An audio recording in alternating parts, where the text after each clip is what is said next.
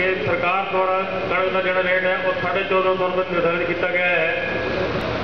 ਔਰ supreme court ਦਾ order ਹੈ ਕਿ ਜਿਹੜੀ ਕਣਕ ਸਾਡੇ ਕੋਲ ਫਾਲਤੂ ਪਈ ਹੈ, ਉਹ ਵੇਚੀ ਜਾਵੇ ਪਰ ਸਾਡੇ ਚੱਕਿਆਂ ਵਾਲਿਆਂ ਨੂੰ ਕਣਕ ਬਿਲਕੁਲ ਨਹੀਂ ਮਿਲ ਰਹੀ। ਅਸੀਂ ਅੱਜ ਸਾਢੇ 1700 ਰੁਪਏ 1800 ਰੁਪਏ ਬਾਜ਼ਾਰ ਦੇ ਅੰਦਰ ਖੇਡਣ ਨੂੰ ਮਜਬੂਰ ਹੋਏ ਹਾਂ। ਅਸੀਂ ਇਹ ਚਾਹੁੰਦੇ ਹਾਂ ਕਿ ਜਦੋਂ ਸਾਡੀ ਸਰਕਾਰ ਆਵੇ, ਤਾਂ ਸਾਡੇ ਚੱਕੀ ਵਾਲਿਆਂ ਨੂੰ ਜੋ ਕੰਟਰੋਲ ਰੇਟ ਸਰਕਾਰ ਵੱਲੋਂ ਫਿਕਸ ਕੀਤਾ ਜਾਂਦਾ ਹੈ, ਉਸ ਦੇ ਅਨੁਸਾਰ ਸਾਨੂੰ ਵੱਧ ਤੋਂ ਵੱਧ ਕਣਕ ਦਿਵਾਈ ਜਾਵੇ ਲੋਕਾਂ ਦੇ ਘਰ ਆਟਾ ਪਹੁੰਚ ਸਕੇ। ਔਰ ਦੂਜੀ ਗੱਲ ਇਹ ਹੈ ਕਿ ਪੰਜਾਬ ਸਰਕਾਰ ਵੱਲੋਂ ਸਟੇਟ ਡਿਪਾਰਟਮੈਂਟ ਜਿਹੜਾ ਬਣਿਆ ਹੋਇਆ ਹੈ, ਉਹ ਸਾਡੇ ਵਪਾਰੀਆਂ ਨੂੰ ਹਰ ਟਾਈਮ ਬਹੁਤ ਹੀ ਤੰਗ ਕਰਦਾ ਹੈ।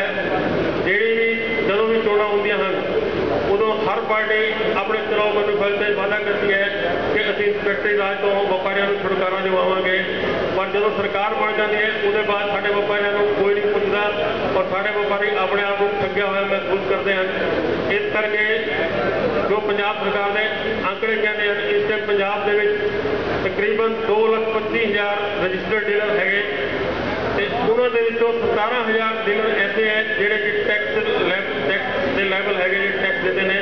ਬਾਕੀ 2 ਲੱਖ 8000 ਬੰਦੇ ਜਿਹੜੇ ਸਾਡੇ ਵਪਾਰੀ ਹੈਗੇ ਉਹ ਇਸ ਕਿਤਾਬਾਂ ਦੇ ਝਮੇਲੇ ਵਿੱਚ ਫਸੇ ਹੋਏ ਨੇ ਔਰ ਉਹਨਾਂ ਨੂੰ ਹਰ ਟਾਈਮ ਇਹੀ ਡਰ ਰਹਿ ਜਾਂਦਾ ਹੈ ਕਿ ਕਿਸ ਟਾਈਮ ਵੀ ਕੋਈ ਸਰਕਾਰੀ ਆਫਤ ਨਾਲ ਸਾਡੇ ਸੰਦੇ ਆਵੇ, ਉਹ ਆਪਣਾ ਵਪਾਰ ਖੁੱਲ ਕੇ ਨਹੀਂ ਕਰਦੇ ਮੇਰੀ ਬੇਨਤੀ ਹੈ ਕਿ ਜਦੋਂ ਹੀ ਆਪਣੀ ਸਰਕਾਰ ਆਂਦੀ ਹੈ, ਤਾਂ ਆਪਾਂ ਨੂੰ ਬਜਾਏ ਟਰਨਓਵਰ ਦੇ ਵਪਾਰੀਆਂ ਦੇ ਸਟਾਕ ਦੇ ਹਿਸਾਬ ਨਾਲ ਟੈਕਸ ਜਿਹੜਾ ਲੈਣਾ ਚਾਹੀਦਾ ਹੈ। ਜਿਵੇਂ ਕਿ ਮੈਂ ਤੁਹਾਨੂੰ ਐਗਜ਼ਾਮਪਲ ਦਿੰਦਾ ਹਾਂ, ਜੇ ਕਿਸੇ ਵਪਾਰੀ ਕੋਲ 1.5 ਲੱਖ ਦਾ ਸਟਾਕ ਹੈ ਤਾਂ ਉਹਨੂੰ ਐਗਜ਼ਾਮਟ ਕਰ ਦਿੱਤਾ ਜਾਵੇ ਜੇ ਕਿਸੇ ਕੋਲ 3 ਲੱਖ ਦਾ ਸਟਾਕ ਹੈਗਾ, ਤਾਂ 1.5 ਲੱਖ ਛੱਡ ਕੇ ਉਹਨੂੰ 200 ਰੁਪਏ ਪਰ ਮਹੀਨੇ ਦੇ ਹਿਸਾਬ ਨਾਲ ਲਾਇਆ ਜਾਵੇ, ਤਾਂ ਇਸ ਨਾਲ ਸਰਕਾਰ ਦੀ ਵੀ ਇਨਕਮ ਹੋਏਗੀ 2400 ਰੁਪਏ ਪਰ ਈਅਰ ਬਿੱਲ ਤੋਂ ਮਿਲੇਗਾ। ਅਗਰ ਕਿਸੇ ਵਪਾਰੀ ਦਾ ਕੋਲ ਸਟਾਕ 5 ਲੱਖ ਹੈਗਾ, ਤਾਂ ਉਹਨੂੰ 3 ਲੱਖ 300 ਰੁਪਏ ਮਹੀਨੇ ਦੇ ਹਿਸਾਬ ਨਾਲ ਟੈਕਸ ਭਰਨ ਦੀ ਲਾਈਫ ਦੇ ਜਾਵੇ, ਕਿ ਤੂੰ 300 ਰੁਪਏ ਨਾਲ ਦੇਣਾ ਹੀ ਦੇਣਾ ਹੈਗਾ। ਇਹੋ ਜਿਹੇ ਅਗਰ ਸਹੂਲਤਾਂ ਆਪਾਂ ਵਪਾਰੀਆਂ ਨੂੰ ਦੇਵਾਂਗੇ, ਤਾਂ ਆਪਣੇ ਜਿਹੜੇ ਵਪਾਰੀ ਵਰਗ ਹੈ, ਉਹ ਕਾਂਗਰਸ ਪਾਰਟੀ ਦਾ ਬਿਲਕੁਲ ਤਨ ਮਨ ਧਨ ਸਾਥ ਦੇਗਾ